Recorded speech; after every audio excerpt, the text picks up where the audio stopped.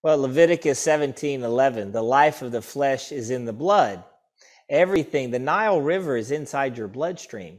Uh, we specialize in interpreting the molecules inside your bloodstream.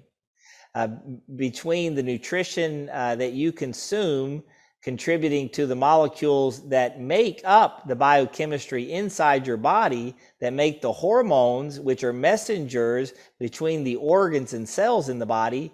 We're basically uh, evaluating the operations of the human body and how uh, optimally uh, it's being run and operated. So we get a chance to, to take a look at uh, how you're doing today with genetics and nutrition, and then we improve on your genetics and we improve on your nutrition. We repeat the biomarker report card, and we'll see people benefiting and uh, their cells are responding optimally. Hair's regrowing, they're feeling better, they're not anxious anymore, they've got nice muscle tone.